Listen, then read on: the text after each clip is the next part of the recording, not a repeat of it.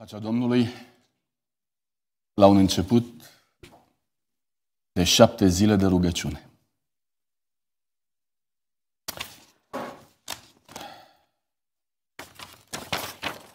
Am uh, trecut prin tematica acestei săptămâni și am citit Faceți ucenici, ucenicie și așa mai departe. Și prelegerile ne învață cum noi să devenim niște promotori ai ideii de ucenici, adică cum să fim noi mai întâi ucenici și pe urmă să facem ucenici la rândul nostru. Să vreau să vă mărturisesc sincer că eu m-am pus, am încercat să mă pun în situația acestui subiect și am descoperit că eu am o problemă și nu știu dacă și dumneavoastră aceast, aveți această problemă. Să vă dau un exemplu.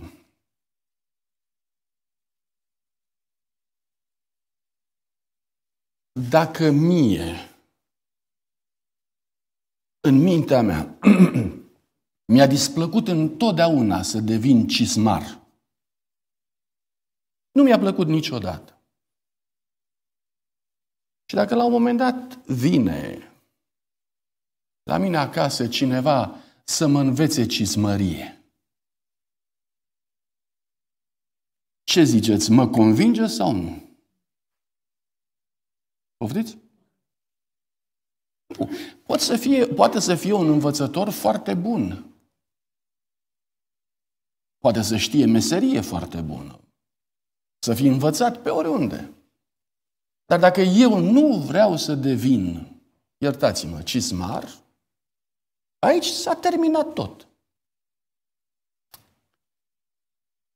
De ani de zile, biserica noastră încearcă să reașeze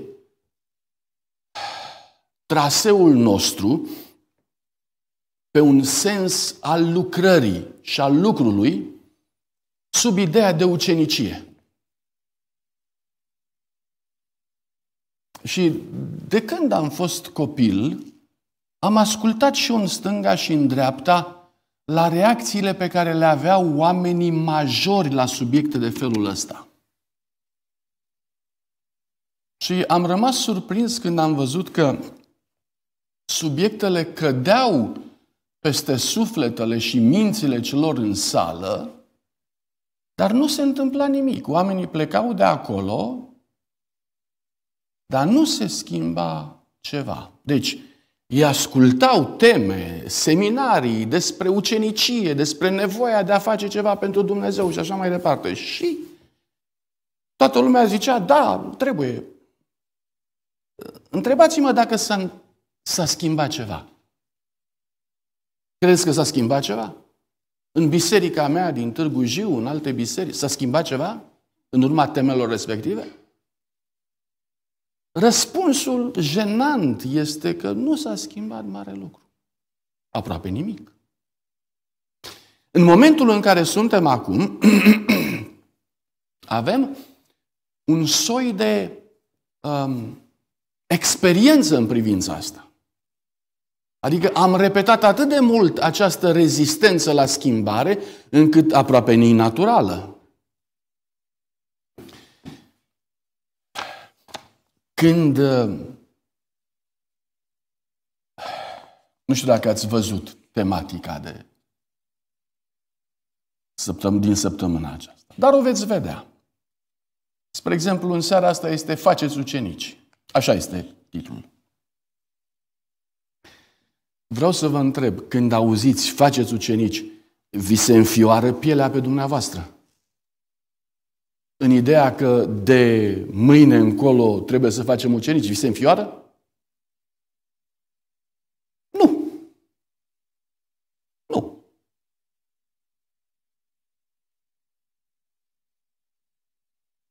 Nu știu cum e la dumneavoastră, dar am mai spus eu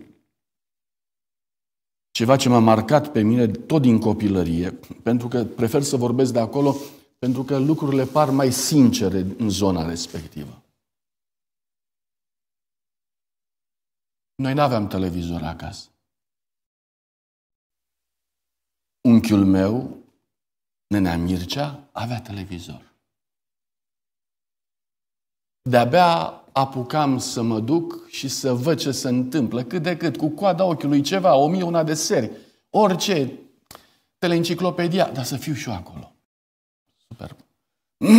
în mod special, sâmbătă seara, mai scăpam împreună cu verii mei, da,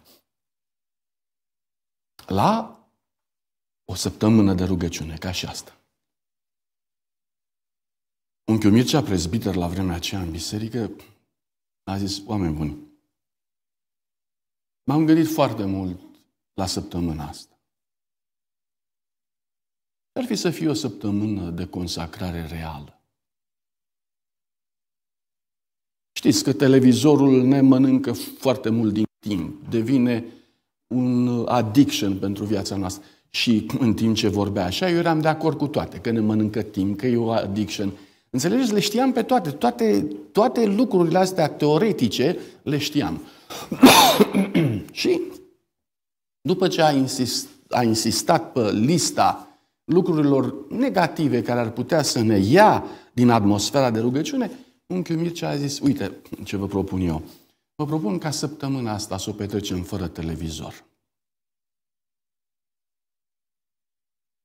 E ca și cum va spune dumneavoastră săptămâna asta să o petreceți fără telefon sau fără computer. Ceva s-a declanșat în mine atunci. În timp ce eram cu mintea de acord cu toate aceste lucruri, în momentul când a zis să nu ne mai uităm la televizor săptămâna asta, pentru prima dată în viața mea am simțit o reacție viscerală la treaba asta. Faptul că trebuia o săptămână să nu mă mai duc acolo, mi s-a părut o tragedie. Nu mă așteptasem la mine să reacționez în felul ăsta. Atât de surprins am fost de mine însumi, încât nu uit lucrul ăsta. De asta vă zic, distanța de la a ști teoretic ceva până la a face ce, acel lucru, al transpune în practică, distanța este șocul ăsta visceral în care organismul întreg să se pregătească de lucru.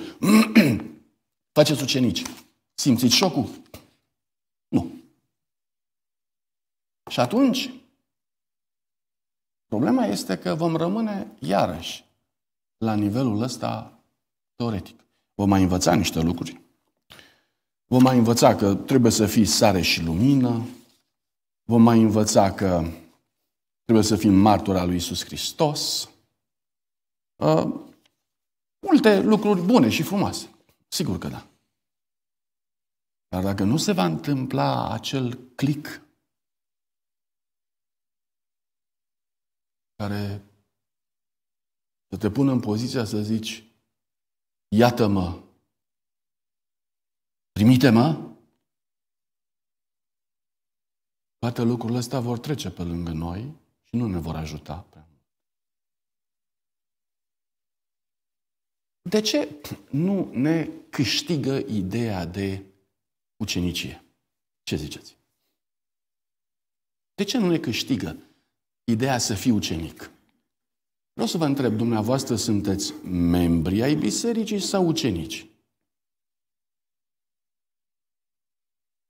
Încă o dată, membri sau ucenici?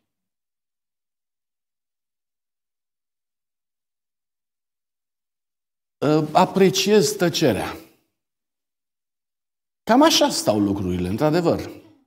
Uneori nici măcar nu ne mai punem problema ce ar trebui să fim membri sau ucenici.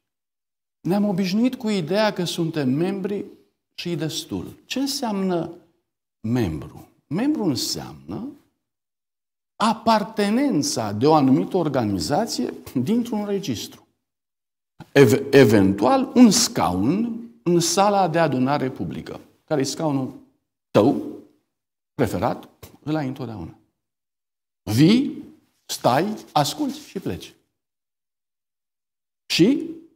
Și după aceea mai fac o dată. Și? Așa o țin în continuu. Și? Păi ăsta e creștinismul nostru. Întrebare sinceră. Ăsta e creștinismul lui Isus Hristos.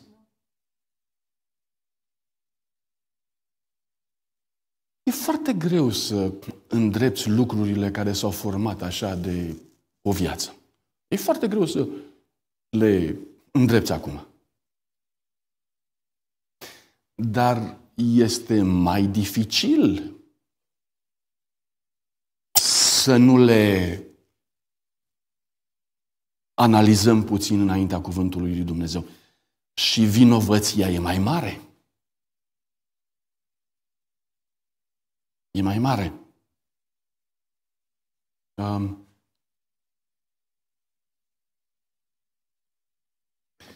vă invit să deschideți cu mine în cuvântul lui Dumnezeu. În Marcu 3, Evanghelia după Marcu, capitolul 3, versetul 13.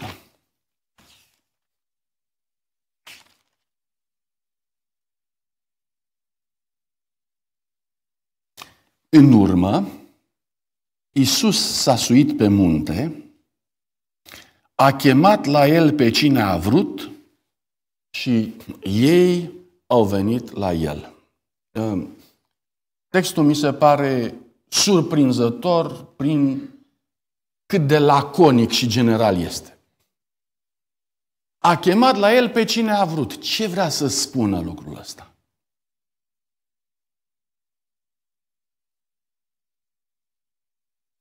Nu. Ceea ce înțeleg aici și se subliniază, subliniază textul în mod special, este că factorul de alegere a fost Domnul Isus Hristos. Nu ucenicii au fost aceia care s-au ales pe ei înșiși. Unul a făcut greșeala asta și s-a numit Iuda. De asemenea, contextul Scripturii îmi spune că Domnul Isus Hristos a făcut lucrul ăsta după o noapte întreagă de rugăciune față de Tatăl. În dialog cu Tatăl, Domnul Isus Hristos i-a luat pe rând Petru, Filip, Natanael, Doamne, e bine? Sau nu e bine? Și Domnul Isus Hristos a primit din partea Tatălui pecetea sau aprobarea în dreptul fiecăruia.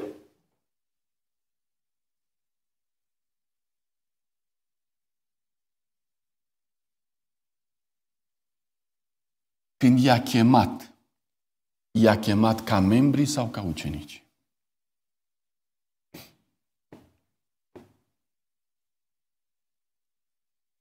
Care e deosebirea, sau care a fost deosebirea atunci între membru și ucenic? Cam care credeți dumneavoastră că a fost deosebirea?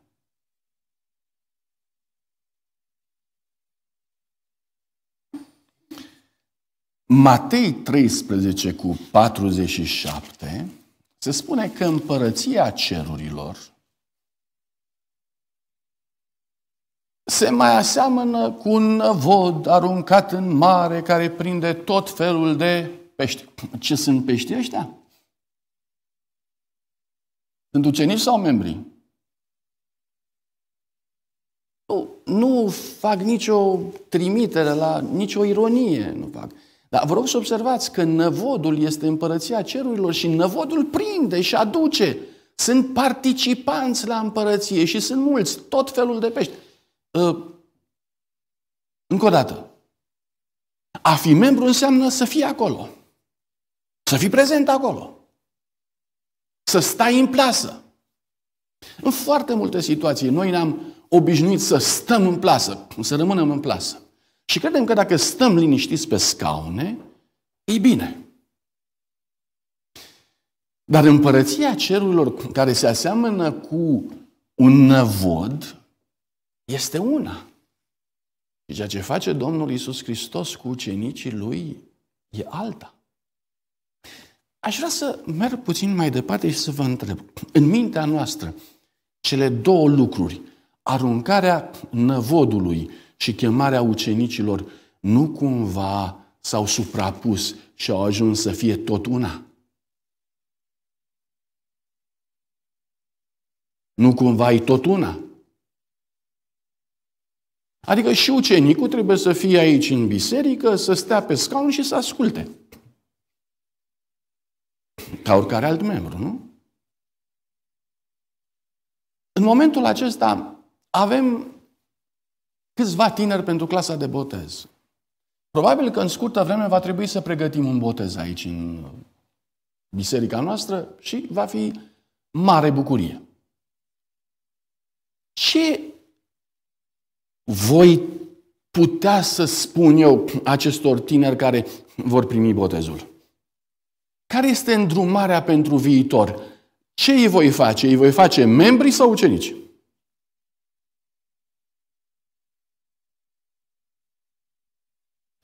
Aș vrea să înțelegeți că marea mea, marea mea capcană este să-i fac membri. Un registru și pe scaun. Să dea zecime și așa mai departe.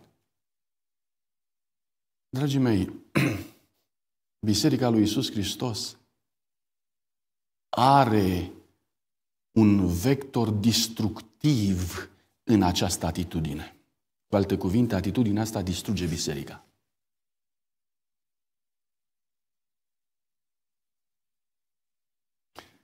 Nimeni nu va rămâne în Biserica Adventistă de ziua șaptea ca participant fidel a acestei biserici decât în măsura în care va contribui, va lucra și va lupta cu toată puterea lui la mersul Evangheliei înainte.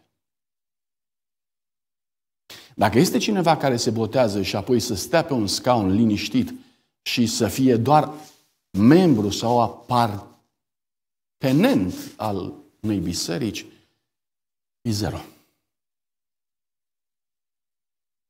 Domnul Iisus Hristos i-a spus lui Petru simplu, vino și te fac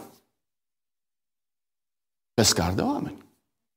Celorlalți mulțimilor care erau în jurul Domnului Isus Hristos, Domnul Isus Hristos nu le-a spus, veniți și vă voi face pescar de oameni. El le-a spus, vedeți, împărăția cerurilor este aproape, s-a apropiat, uh, fiți gata și așa mai departe. Oamenii erau însetați, oamenii erau deosebit de antrenați în gândul acesta. Dar Mântuitorul nu s-a dus la ei să le spună, um, sunteți pescari.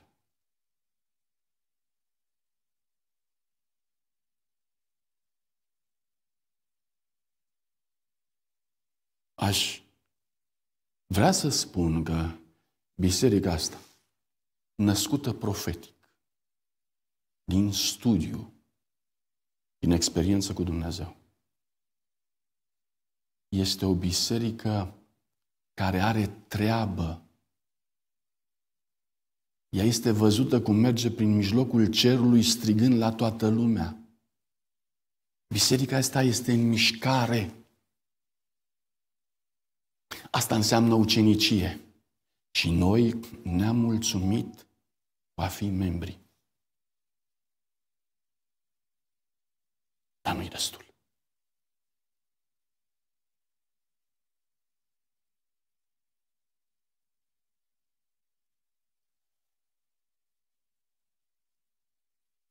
Aș vrea să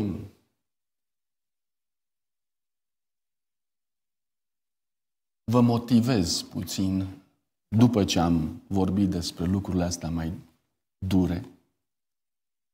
Aș vrea să vă motivez puțin în legătură cu cum a început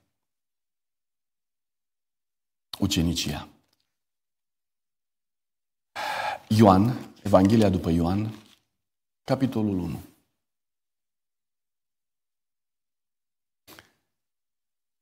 A doua zi, Ioan stătea, versetul 35, a doua zi, Ioan stătea iarăși cu doi dintre ucenicii lui. Pe când privea pe Iisus umblând, a zis, iată mielul lui Dumnezeu. Cei doi ucenici l-au auzit rostind aceste vorbe și au mers după Isus. Isus s-a întors și când i-a văzut că merg după el, le-a zis, ce căutați?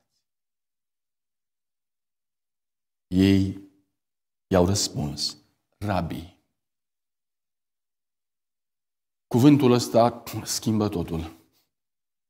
În tradiția iudaică, în momentul în care cineva venea în fața unei alte persoane și îl numea rabi, el candida pentru ucenicie. El n-avea curajul să se numească ucenic, dar cerea voie și permisiunea de a fi ucenic. Învățaseră ucenicia de la Ioan Botezătorul, le plăcuse ucenicia. Ucenicii ăștia lui Ioan Botezătorul nu erau membri. Erau împreună cu Ioan Botezătorul, botezau împreună cu el, stăteau, îi cunoșteau zbuciumul lui Ioan Botezătorul, primeau, primeau de la Ioan Botezătorul viziunea împărăției care trebuie să vină. Aprins în sufletul lor de această dorință, au auzit când Ioan Botezătorul spunea, eu sunt la început, dar vine altul după mine căruia eu nu sunt în stare să-i dezleg și returile. Și în momentul în care s-au întrebat cine poate să fie mai mare decât Ioan Botezătorul, și au auzit aici, iată, mielul lui Dumnezeu care ridică păcatul lumii, frații vă rog să vă imaginați scena. Priviți-l pe Iisus Hristos mergând prin mulțimea aceea fără să fie băgat în seamă de nimeni. Mântuitorul expunându-se, expunându-se privirilor. Trecând în stânga și în dreapta și așteptând din partea Tatălui un semnal că oamenii îi sesizează prezența. Și nimeni nu simte nimic. Și Mântuitorul trece, trece printre ei în singurătatea lui și în tristețea și în durerea lui. Și în momentul în care aproape că repetă această, această tragică concluzie a faptului că este neașteptat, neînțeles și nevăzut de nimeni, în momentul acela încep să se țină doi de el. Doi. Se întoarce înapoi îi întreabă, ce căutați? Și aude cuvântul Rabi. Rabi, unde locuiești? Știți, când noi ne căutăm profesorii sau învățătorii, noi ne căutăm profesorii după gradele pe care le iau. Oamenii ăștia au început din altă parte. Rabi. Unde locuiești? Și ceea ce mi se pare mie frumos de tot este că Isus le zice, veniți de vedeți. S-au dus, dar au văzut unde locuia și în ziua aceea au rămas la el. Um, nu se pomenește nimic de ceea ce s-a întâmplat în casa aceea. Nu se pomenește despre faptul că le-ar fi ținut vreo predică, că le-ar fi spus vreun cuvânt înțelept sau vreo pildă. Spune simplu că au rămas la el și anume că Domnul Iisus Hristos a oficiat poziția de gazdă. I-a primit, le-a dat să mănânce, le-a spus bun venit, le-a pus la dispoziție tot ceea ce aveau nevoie și a fost gazda lor în ziua aceea. O fi găsit patul nefăcut? Or fi găsit patul nefăcut? Da sau nu? De unde știți că nu? Poftiți? Nu înțeleg. A, nu, putea să fie patul nefăcut. Putea să fie nefăcut. De unde știți că era făcut? Poftim? Aia e ideea. În momentul când a înviat Domnul Isus Hristos, n-a ieșit afară din mormânt fără ca să aranjeze întâi mormântul. Și-a luat fâșiile de pânză, le-am îmbetit, le-a pus la capăt, a făcut totul frumos și a terminat lucrarea și a ieșit. Era în caracterul Domnului Isus Hristos. Spun lucrul acesta pentru a înțelege de fapt ce a însemnat oficiul de gazdă. A însemnat uh, lucrul ăsta adânc, profund, care vorbea despre învățătura lui.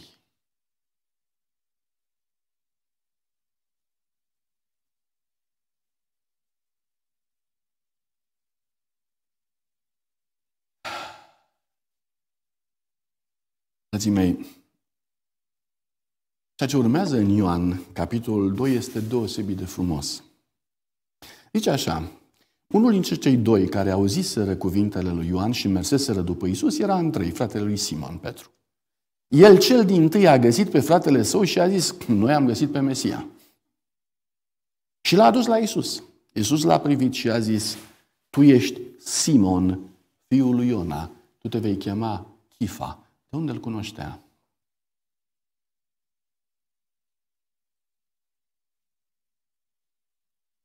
Mântuitorul își alege oamenii lui și ucenicii lui datorită unei legături strânse cu ei pe care el o avea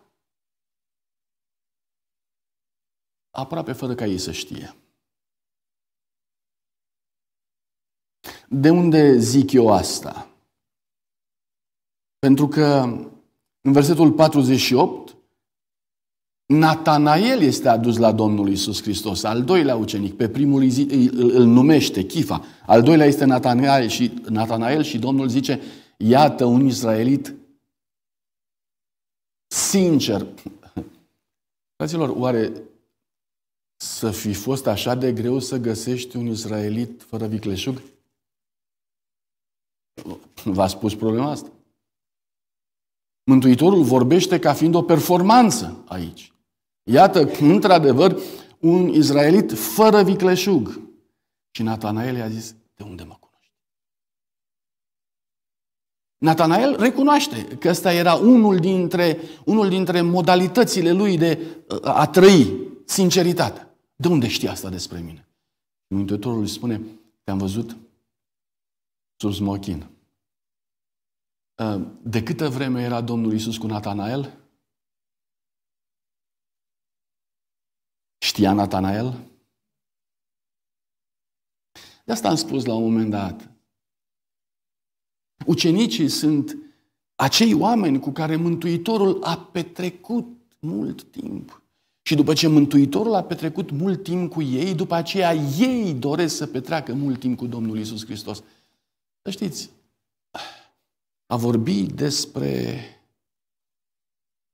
a vorbi despre ucenicie sec și searbăd, ca o datorie pe care trebuie să o facem fiecare dintre noi, să vorbim la oameni peste gard despre cuvântul lui Dumnezeu și așa mai departe, că dacă nu, nu intrăm în cer, nu are niciun rost.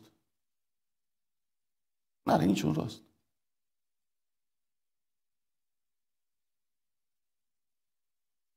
Natanael a răspuns, Rabi, tu ești Fiul lui Dumnezeu, ești împăratul lui Israel. Astea sunt momentele care îi fac pe acești oameni Ăsta este acel clic despre care vorbeam în viața lor, care i-au transformat din membri, că ei, ei erau membri. I-au transformat din membri în ucenici. Se poate întâmpla ca în viața mea sau în viața unora dintre noi acest clic să nu fie avut loc? Să nu fi zis eu sau eu știu, poate tu, Rabi, tu ești Fiul lui Dumnezeu, tu ești împăratul lui Israel. Știți că mai zice un ucenic după înviere ceva asemănător, zguduitor de, de puternic. Vă amintiți? Toma. Când zice, Domnul meu și Dumnezeul meu. Astea sunt momente care îi fac pe oamenii ăștia să nu mai poată să stea cu mâinile încrucișate, ci oamenii ăștia să devină niște agenți ai împărăției lui Dumnezeu pentru lumea asta. Ei vor muri pentru Isus Hristos, dar nu vor putea să stea. Cum vă explicați ceea ce spune Pavel la un moment dat? Eu sunt dator și grecilor și barbarilor, celor... De unde dator? De unde sentimentul ăsta?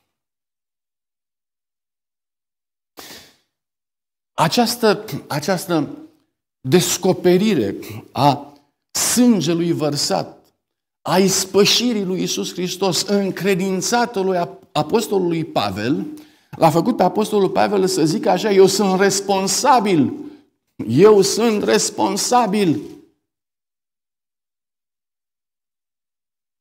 Și dacă voi rămâne cu vestea și cu realitatea asta numai pentru mine și dacă nu voi, nu voi împrăștia la toată lumea, sângele lor va fi cerut din mâna mea. Ecuația este foarte simplă. Nu știu de ce. Ceva s-a întâmplat. Am pierdut sensul acesta. Dar uh, aș vrea să observați când se ajunge la ce strigă Domnul meu și Dumnezeul meu, ăsta este momentul în care ești calificat să fii ucenic al lui Isus Hristos. Versetul 51. Apoi a zis, Adevărat, adevărat vă spun că de acum încolo veți vedea cerul deschis pe îngerii lui Dumnezeu suindu-se și coborându-se peste Fiul omului. Cui a spus Domnul Iisus Hristos aceste cuvinte? Poftiți? Ucenicilor. Această perspectivă, acest destin este destinul ucenicilor. Nu mulțimea va face experiența aceasta. Nu mulțimea va vedea scara lui Iacob ci ucenicii o vor vedea. Mulțimea nu va înțelege. Membrii care veneau acolo și care erau și ei părtași la ceea ce se întâmplă, nu vor înțelege această, această perspectivă a fost păstrată în mod special pentru ucenici. Când ucenicii au înțeles lucrul acesta, au putut să se ducă la cei care erau aproape, erau și ei cât de cât acolo, membrii, să facă ucenici. Uite, nu știu dacă v-ați um, confruntat cu ideea asta vreodată. În Hristos Lumina Lumii, pagina 75, se vorbește așa în general despre faptul că erau trei sărbători anuale, Paștele, Ziua Cinzecimii, Sărbătoarea Corturilor, la care toți bărbații lui Israel erau obligați să se înfățișeze înaintea Domnului la Ierusalim. Dintre aceste sărbători, cei mai mulți luau parte la sărbătoarea Paștelor. Ă, ce sesizați? Când veneau oamenii la Ierusalim, la templu? Când veneau? La Paște. Noi zicem la Paști, la Crăciun. Cam așa. Bun. Mulți erau prezenți din toate țările de unde erau răspândiți iudeii, din toate părțile Palestinei, închinătorii veneau în număr mare. Călătoria din Galileea ținea mai multe zile și călătorii se unau în grupuri mari pentru a asigura o bună tovărășie și protecție. Era frumos. De dragul părtășiei oamenii veneau. Dar când se întâmpla asta? Când era Ierusalimul plin? La Paște? La cinzecime și uneori la sărbătoarea corturilor. Fiți atenți!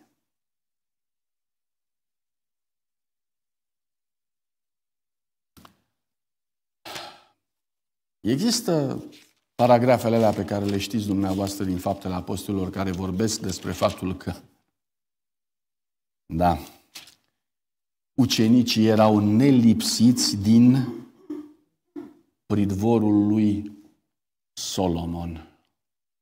Câți erau? Poftiți? Câți erau? Bă, fraților, În uh, capitolul 2 ne spune că au primit uh, pe Iisus Hristos 3.000 de oameni, 3.000 de suflete.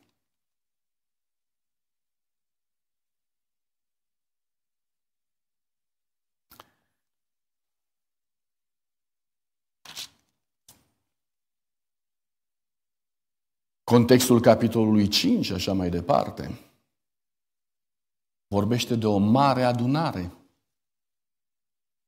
Iar faptul că erau nelipsiți de acolo i-a dat peste cap pe responsabilii Sinedriului. Adică îi așteptau așa, băi, lasă-i pe ăștia că sunt acum, au o... dar le trece. Și au tot așteptat să le trece, că ce o să spună? Lasă-i în pace că se liniștesc. Și în loc să se liniștească, din 3.000 au ajuns 5.000, au ajuns. Iar oamenii ăștia veneau din toate părțile. Spune mai în altă parte, cuvântul lui Dumnezeu spune că aduceau bolnavi din toate părțile acolo ca să fie vindecați. Iar ceea ce se întâmpla sub mâinile ucenicilor era un motor spiritual. Un motor spiritual extraordinar. Nu, mai, nu numai că nu mai văzuseră, nu mai simțiseră așa ceva. Nu mai înțeleseseră niciodată așa ceva despre împărăția lui Dumnezeu. Chiar oamenii ăștia au simțit că împărăția lui Dumnezeu a coborât la ei. Dar vă rog să observați că n-a coborât prin alții, a coborât prin ucenici. Aș vrea să vă provoc, dragii mei, să ne schimbăm statutul. Aș vrea să vă provoc. E greu, nu e ușor, dar sunt avantaje. Dacă vrei să fii ucenic, Mântuitorul spune că vei vedea lucruri pe care alții nu le vor vedea niciodată. Vei trăi experiențe spirituale de care alții nu vor avea niciodată habar. Mântuitorul va fi atât de aproape de tine încât nu te va lăsa niciodată să fii singur. Din uh, tema din seara aceasta, eu sunt convins că dumneavoastră o veți citi, Aș vrea să vă citesc o experiență din anii 40. Ceea ce pe mine nu mă prea încălzește. Că eu aș aștepta ca experiențele să fie puțin mai încoace. Că dacă din anii 40 înseamnă că ucenicia e acolo. Dar e o lecție și aici. Fratele Traian Drăgușin din Alexandria.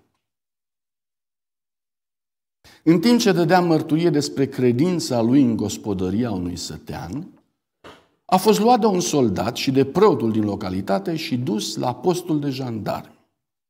Amenințat cu bătaia, confiscarea cărților și pentru lipsa legitimației, fratele Traian a avut curajul să-i spună șefului de post că legitimația lui nu este dată de oameni, ci de Dumnezeu. Și a citit textul din Matei 28 cu 19. Duceți-vă în toată lumea și faceți membrii ucenici. Mulțumesc. Uh, ideea a fost că șeful i-a dat înapoi cărțile și l-a lăsat în pace. Uh, nu atât de mult mă, mă, mă surprinde sau mă impresionează efectul asupra șefului de post, când mă impresionează modul în care omul ăsta cuteza să gândească despre misiunea lui. Um, există două variante. Ori era obraznic, ori chiar credea așa. Ori era un șarlatan, ori era un om al lui Dumnezeu. Dragii mei, oamenii au simțit treaba asta. De-aia luau pe ai noștri și îi băteau bine. Că dacă era un șarlatan, după primele două, trei, patru, cinci, șase, nu știu câte, ieșea șarlatania din ei. Dar dacă erau oameni serioși, ei pecetluiau mărturia lor cu frumosul imn al suferinței pe care Dumnezeu îl, îi învăța în momentul acesta. Um, cu ei vom dori noi să moștenim împărăția cerurilor. Oamenii aceștia. Nu vi se pare că fratele nostru, Traian, ne va putea întreba vreo două întrebări pe noi, cei ce stăm în condițiile astea astăzi? Nu credeți că ne-ar putea întreba, păi cum puteți să stați, mă, că eu nu puteam. Eu nu puteam. Și noi îl întrebam pe fratele tău, dar ce te, de ce nu puteai? Păi nu știu, că eram dator și grecilor. Și celor învățați și celor neînvățați. Voi nu erați datori. Ba și noi, dar am așteptat să facă spitalul Lomalinda treaba asta, instituțiile să o facă, ADRA și așa mai departe. Bine, dar voi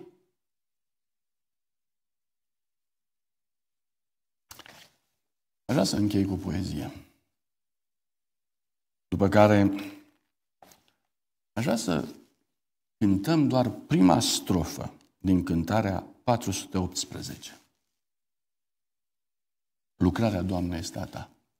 Și apoi, în timp ce vom cânta strofa aceasta, toți aceia care doresc să se roage, să vină aici în față să mi se alăture.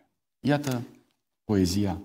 Este și asta o poezie mai de altă dată scrisă de Gabriel Rusu din Bacău. Dar bănuiesc că cele mai vechi au de asemenea un iz de autentic, de sinceritate. Pe pământ suferă spicul, lanurile însetate. Nimeni nu se roagă încă, dorm străjerii în cetate. Lacrimi nu mai cad sau poate nu le mai vedem căzând. Prea puțin se roagă astăzi să coboare Duhul Sfânt. Ornicele lumii în cântec sună ora nevegherii. Înșelați de un zvon de pace și-au închis ochii străjerii, stau atâtea să se întâmple. Profeții de mult prezise, Duhul Sfânt vrea să coboare, dar sunt ușile închise. Se mai zăbovește încă, nu e pregătit poporul. Lanul suferă de sete și nu poate sparge norul. Rugăciunea e puțină, strigătul spre cer e șoaptă. Vorba câtă e de multă, prea departe e de fapt. Cereți de la Domnul ploaie, se aude o strigare, secerișul e aproape, lanul freamătă sub soare, cereți Duhul Sfânt și cereți o măsură îndoită, picături de har cădea vor peste inima zdrobită. Fulgeră prin anotimpul ploilor îmbelșugate, se deschid zăgajuri gata să se verse în plinătate. Ploaia înseamnă biruință, revărsare de putere. Va primi făgăduința cine în credință o cere. Trece timpul rugăciunii. Peste veac se lasă seara. Trece peste fruntea noastră îngerul cu călimara.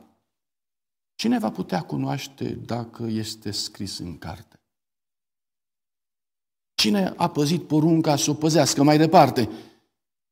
Cât nu trecem de hotare, cât n-apune ziua milei, cereți de la Domnul astăzi să a da pe setea gliei, să reverse în torente ploaia Duhului Preasfânt. Ploaia înseamnă sigilare într-un veșnic legământ. Dragii mei, asta este poezia unui ucenic. Nu este poezia unui membru înscris în registru. Cine în săptămâna asta vrea să schimbe statutul și să treacă dintr-o parte într-alta, haideți să folosim momentele astea pentru rugăciune, pentru ca să nu se întâmple cu alții și să se întâmple cu noi. Amin.